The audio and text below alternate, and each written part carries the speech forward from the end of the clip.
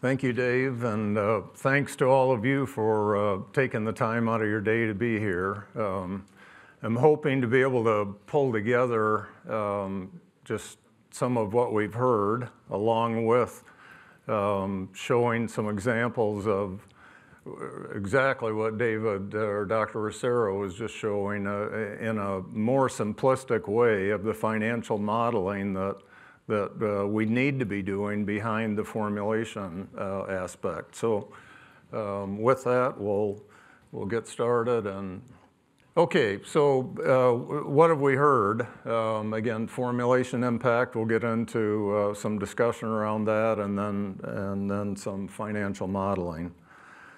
Um, First of all, uh, Gordon told us uh, pretty clearly, and I think we've all seen the, the beginning of this, the, of, of added soy availability, um, crush capacity increasing, and we're hopeful that that carries a, a lower soybean meal price, but Gordon also indicated that there's some headwinds that are, are um, involved in that with some imported uh, oils and so on that are, again, a little bit of a headwind to the soy oil and the renewable diesel uh, aspects. The important things I think that we've heard on uh, from a nutritionist standpoint, whether it be students or producers, I know we have a mix of a lot of different um, uh, people here today. We've heard about soy uh, net energy content. Um, I think that's a a very important one that I'd ask all you nutritionists and students to keep an open mind because there's a there's some good debate that can be had there, but I think there's also some really good evidence to show that something is uh, afoot here, and and uh, again, keeping an open mind and and thinking through uh, that is really important. Uh, Amy told us about um, uh, the functional bioactive compounds and um, that, uh, again, probably has to do with um, uh, some of the productive energy that Dr. Gaines talked about and what we may be seeing there and calling net energy. So not all completely understood yet, but uh, again, fits well. And then uh, Dr. Rosero here showing uh, that, that there's good evidence that soybean meal should be the primary amino acid source in the summertime excluding maybe DDGs, uh, some crystalline amino acids, or at least having good control of those in our, in our formulation processes.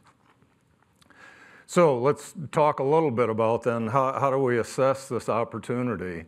And again, we'll talk through formulation and then get into some of the financial modeling.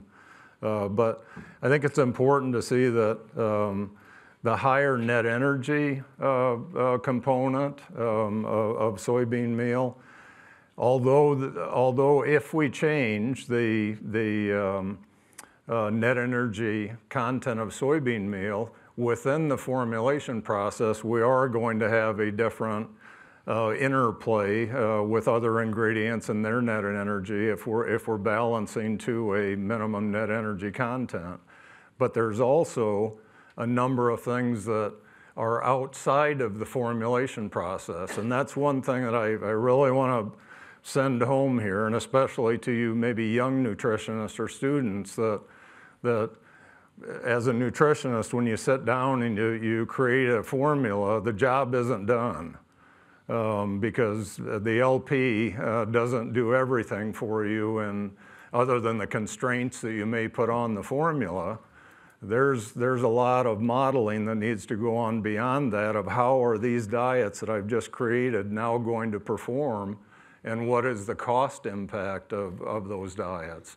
So again, please um, want that to be a key take home for anybody that's doing uh, feed formulation and or uh, uh, learning that. There's some things outside of the formulation that we need to account for.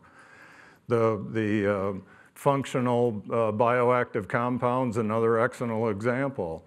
Uh, raise your hand if you're formulating and that you're, you're um, putting a minimum for an isoflavone in your formula. Probably not there yet. So we have to account for that outside of the formulation process if there is some mortality benefit or, or other aspects that uh, today we, we don't quite understand. And then as, as uh, uh, Dr. Rosero just showed us, there's good opportunity for soybean meal being the primary amino acid source, especially during the summer. So let's talk a little bit about cost revenue optimization or making a profit. I mean, how this we're in a really good environment uh, today within the pig industry to say, you know, how do, how do we how do we do things better from a cost standpoint? And um, uh, so let's talk through that a little bit. Again, the, the feed formulation process helps us get to a, a, uh, a feed program, but it leaves us only with a cost. Um, so we're, we're putting constraints on a nutrient content of the diet, nutrient content of ingredients, ingredient costs, ingredient minimums and maximums. Uh, but again, it's, uh, again, we, we come up with an invoice price as Dr. Rosero talked about.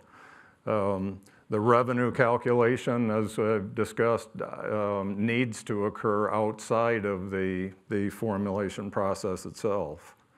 So this, this uh, table will, will uh, I think, mirror pretty well Dr. Van Heugten's um, uh, suggested minimum soybean meal. If we look at this as what I'll get to here in a minute as, as an improved uh, diet or, or the, the summertime diet, um, you can see here that, that if we use this as a, as a summertime uh, feeding strategy, we, we would have maximum levels of, of distillers grains that are probably lower than what a lot of us would like to be using today based on the invoice price. Because replacing corn with distillers at the price that it is right now, you can sure drive the, the, um, the formula cost down. But again, that outside of the formulation process um, activity that needs to go on will um, with added gain and so on, uh, uh, turn us into a, a more, uh, a less revenue uh, capture situation. And I'll show you that uh, example here in a minute. So this one having um, uh, minimum soybean meal contents across diets, maximum levels of crystalline lysine being suggested, and then maximum levels of, of distillers. You'll also see there's a minimum level of, of DDGs uh, that's listed, and that being uh, uh, uh, suggested because of the gut health um, aspects that have been shown in some research relative to DDG use. As we begin to talk about formulation, there's some um, I would I, I would say uh, mind bending, and Aaron, hopefully you would agree with me on this. Aaron and I have have uh, talked through this a number of times as I've uh, worked my way through this net energy change that we're talking about in in uh, soybean meal. There's a number of different ways that I think uh, you, you'd want to kind of think about that. One unfortunately, there's, if we all left the room today and said, yeah, we're all believers in, in higher net energy, we can't assume that tomorrow pigs are going to be converting at, you know, 15 points better feed conversion just because we've decided soybean meal has changed.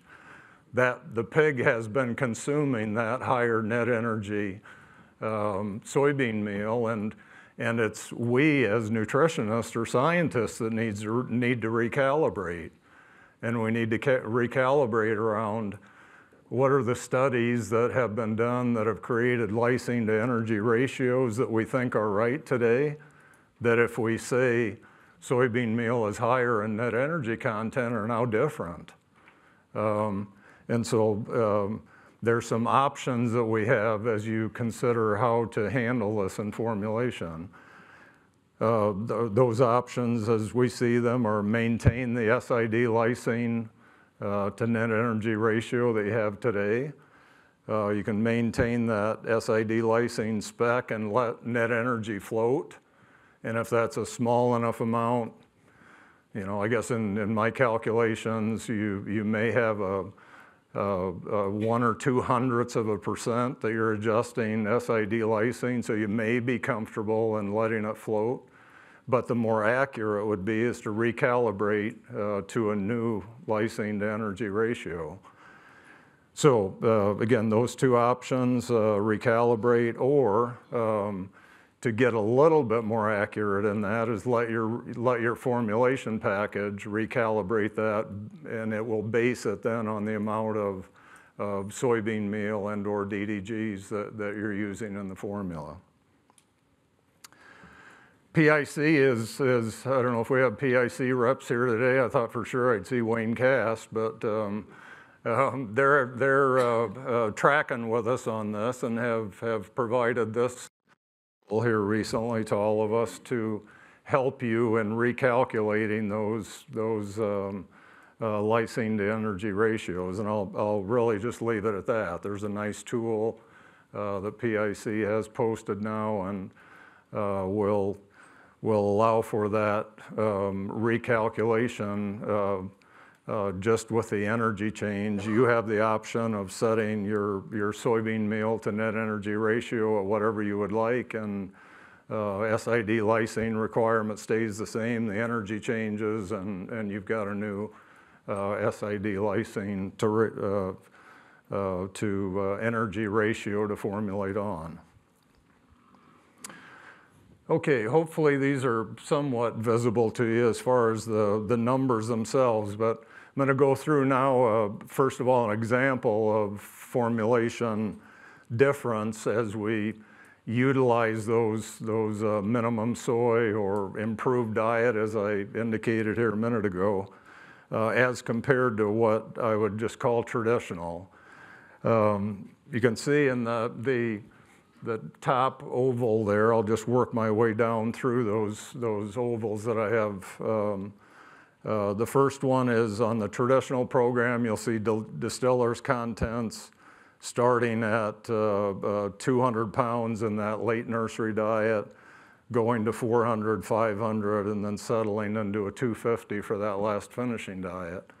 Um, diet costs there uh, 272 to uh, 195. The, the program below, and those formulas are are around the minimum soy content, maximum DDGs. So you'll see the DDG level there being maximum of 125 pounds. And, um, and again, diet cost, if we look at specifically at the, the, the um, uh, first grower diet, so the second one in the column, we've got a 243.08 as compared to a 268, I think it is. So quite a difference in cost of those diets that are formulated to the same uh, specifications. So you can see invoice price-wise, push distillers, if you've got a producer that wants cost, cost, cost, cost, cost, you know, there, there you go. But remember, as a nutritionist or as a person advising them, you really, you know, you have to be on the camp of saying, cost isn't, isn't everything here. I mean, there is a revenue component that needs to be considered because we're, we're not, uh, again, in the end, uh, invoice price of the feed doesn't, doesn't uh, cause the revenue. So let's talk a little bit about, and I'm going to get into, hopefully it won't be too simplistic for those of you that are into financial modeling, but hopefully it'll be okay for those that this may be a first view what are the, uh, the cost and revenue considerations that we need to, uh, need to make? Um, first of all, on a cost side, we've got pig cost, of, co of course, we've got feed cost, 70% of uh, the cost of producing a pig, housing and care, medications, transportation. On the revenue side, uh, we're going to have uh, live sales, of course, in market hogs and uh, any cull and light heavy pigs or, or uh, uh, yeah, coal light and heavy outside of uh, the window. And then the, the graph below really is to uh, suggest something similar to what Dr. Rosero talked about of having the opportunity to shift that weight curve to the right and depending on your marketing strategy and, and uh, space long, space short, and so on, uh, hit more pigs in the, in the, the sweet spot of the packer grid. And again, that can be a revenue source if you're, if you're able to have more pigs in that, that uh, uh, premium spot. Okay, there's a couple of things here then on, on uh, cost um, that are uh, feed price and, and are a formulation impact, um, ingredients and formulation, and then a cost of, of uh, certainly can be uh, average daily gain in a, in a fixed uh, time system. And of course, any mortality um, uh, is going to be a cost to the, the, uh, the grow out. Revenue, um, we got carcass price, of course, which is an uncontrollable, basically. Uh, but two things that are within the formulation impact, and that's carcass weight um, as Dr. Rosero showed in uh, formulation and, and um, uh, the ability to maintain some, some carcass weight. And then the number of full value pigs sold, again, if you get more into that, um, that sweet spot of the packer grid.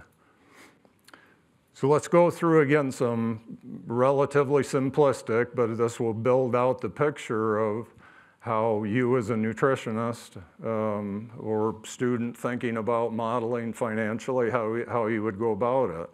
Here's the buckets of, of um, costs that I talked about a minute ago.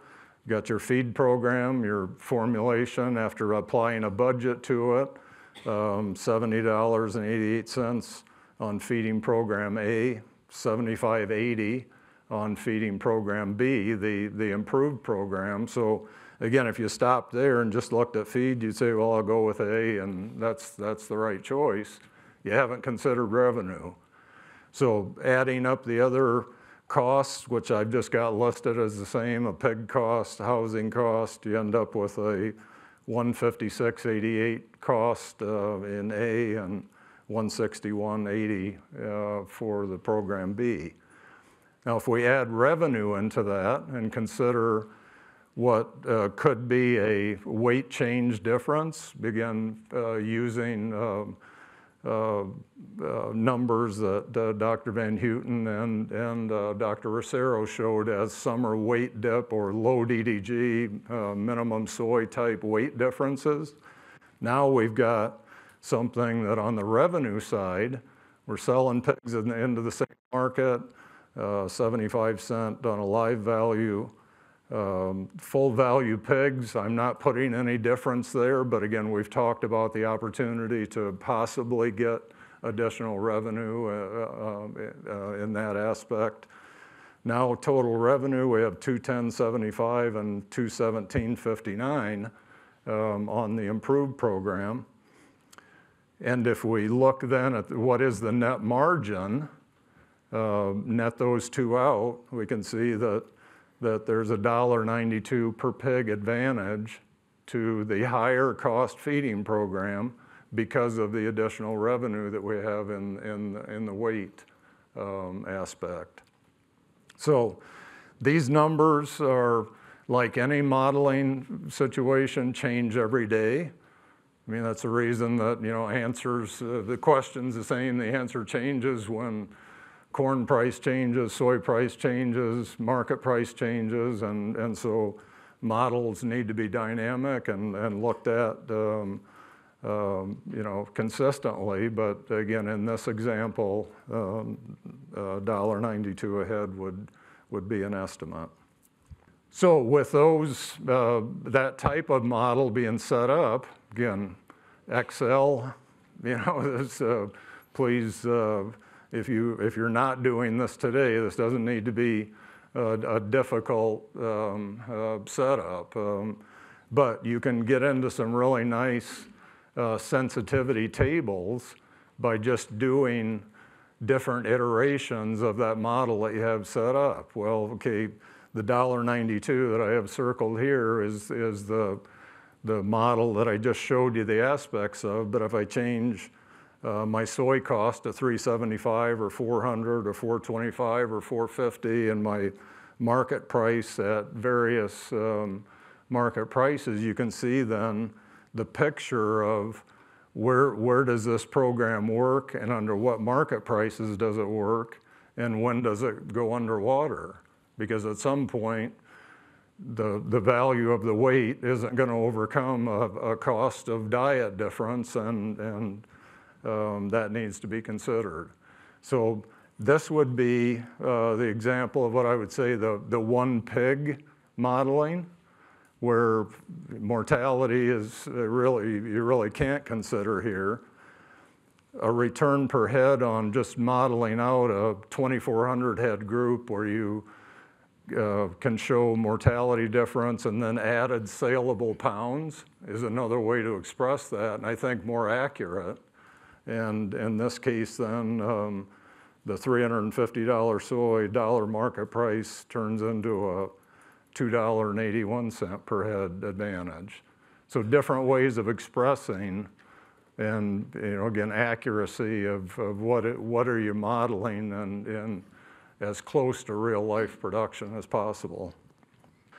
So in, in summary, um, hopefully we've gotten across here the, the feed formulation um, um, process uh, isn't the end of, of, what needs to be done to really assess what we've talked about today. I mean, it's, uh, there's financial modeling that needs to go uh, behind that uh, areas of potential revenue, carcass weight, market sales, uh, percentage of full value pigs. And then for any of you out there from uh, universities or companies or whatever it may be uh, that, that uh, would be up for uh, considering and hosting a potential tool, I think there's a real opportunity for a new tool to be created very similar to what uh, I mean, K-State and PIC have linked up on some. Iowa State has some uh, models that are out there, but I think there's a great opportunity that would be used by the industry to, to uh, create a model around this very um, uh, situation that we've been talking about. So thank you very much uh, for your attention and um, look forward to any questions that you have in the upcoming question and answer.